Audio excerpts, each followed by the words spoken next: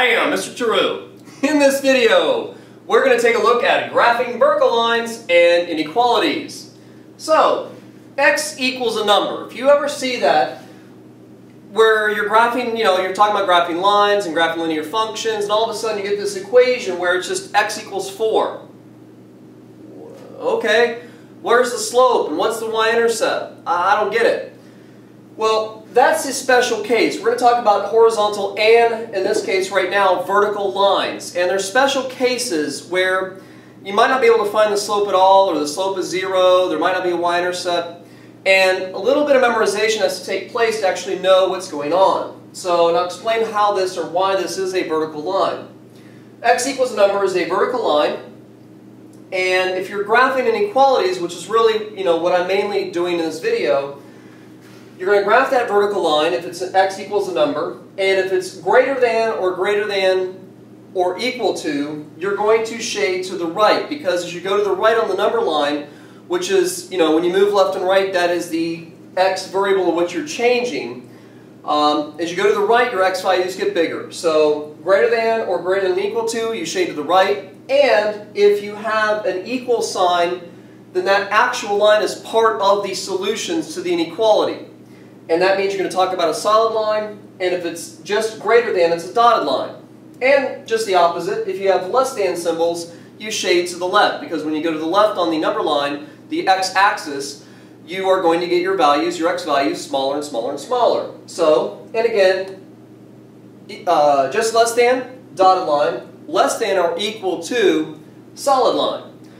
Now before we worry about actually graphing these inequalities, let's make sure we completely understand why is x equals a number? Why is that the form of a vertical line? Because when I look at a rectangular coordinate system, the horizontal axis is the x-axis. And the vertical axis is the y-axis. So if the horizontal axis is the x-axis, why is x equal a number?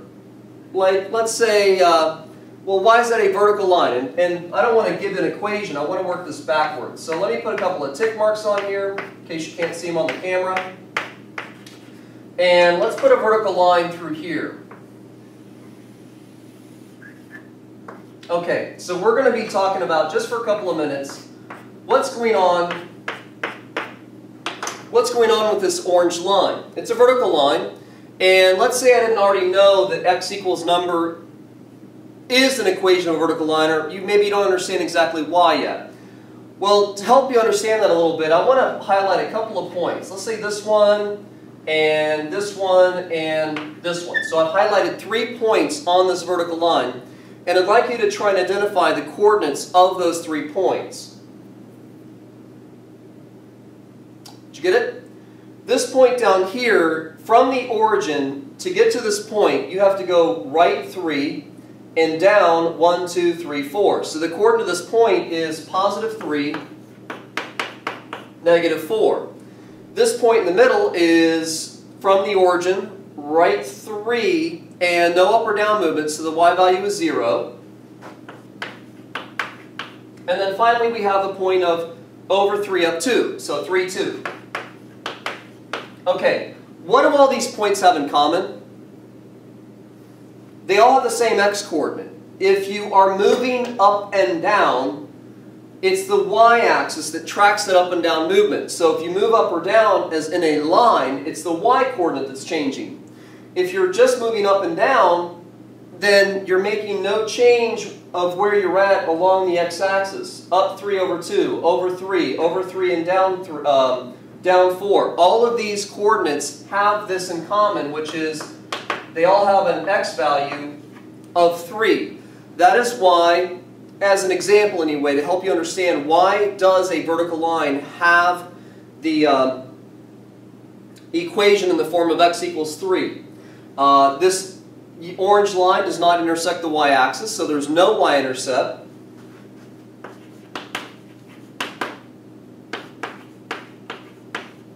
And not the main purpose of this uh, particular uh, video, but what is the slope of this vertical line? Well, slope is equal to y2 minus y1 over x2 minus x1. Let's just pick a couple of points and find the slope here. Uh, let's use this point and this point. Okay, so slope is y2 minus y1. Well, I have a y value here of 2, so it's going to be 2 minus this y value down here of 4. I'm going to have this as my, I probably should label this, have this my x sub 2 and y sub 2, and have this one x sub 1 and y sub 1 and see what happens. Okay, so let me clear this out. And our slope is y2 minus y1 and x2 minus x1. Well, if we look at this, we have negative and negative. When you subtract a negative number together, or two negatives being multiplied together, there is a negative 1 there. So negative 1 times negative 4 is positive 4, and 2 plus 4 is equal to 6. And 3 minus 3 is equal to 0. Can you divide by 0? I hope you know that you cannot. So vertical lines have a slope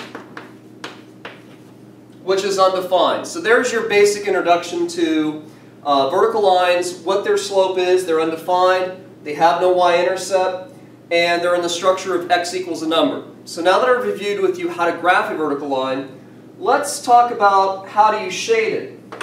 Now I'm going to do another example, but just because I already have this up here, I'd like to graph x is less than or equal to 3.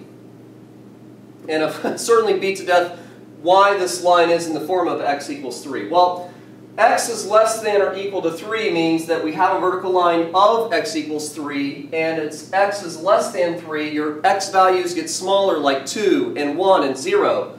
Uh, the x values that are smaller are all to the left. And let's just get this erased really quick and do one more example, which is how to graph a well, not, well, we're going to move on to horizontal lines, but for right now, what about x is, how about greater than 1? Just really quick here. Okay, x is greater than 1, x equal number, vertical line, no equal sign, so this is going to be dotted. A dotted vertical line through x equals 1, and your x's get bigger as you move to the right. Okay, let me take a pause, get this cleared out, and we'll go much quicker on the second part of graphing horizontal lines and shading them uh, as inequalities. Bam! So for horizontal lines and inequalities, y equals a number, as you might expect now that we've watched the first part of the video, is for horizontal lines. They have slopes of 0, and the y-intercept, since it's horizontal, and thus the y value now is never going to change, the y-intercept is the y value. Uh, y is less than a number, dotted down. If y is less than or equal to a number, it's solid and shade down because, again, as you go down, your y values uh, decrease. And if it's y is greater than, you go up, and so on. So we have a sketch here of a horizontal line and again, just as a quicker version of what we just did with the vertical lines, I've identified three points for you. Uh, I've marked a point as uh, point 1 and point 2 and worked to the slope formula just to give you a concrete uh, example as to why horizontal lines have a slope of m equals 0, or just a slope of 0. Now, again, we have y equals negative 5, horizontal line, even though the axis is vertical, horizontal line because when you move horizontally, you do not move up and down, and thus your y variable uh, for all of the, or y values for all the points that the line goes through uh, never change. If I change this to y is greater than or equal to negative 5, just try and slip that in there a little bit, then that's y, all the y values that are greater than 5 are part of the solution set to this inequality, and thus you shade vertically or shade up. If I add an additional example of y is, let's say, less than 3, well, y equals number, horizontal line, uh, find the y value of 3, which is right here. So I move up from the origin 3 units, draw that dotted horizontal line. Again, dotted because I've not included an equal sign as part of my inequality, so thus the line is not actually part of a solution set to this inequality. y is less than, y's get smaller. As you go down, and that is my introduction for graphing horizontal, vertical lines, and inequalities. I'm Mr. Tarrou. Bye! Go do your homework.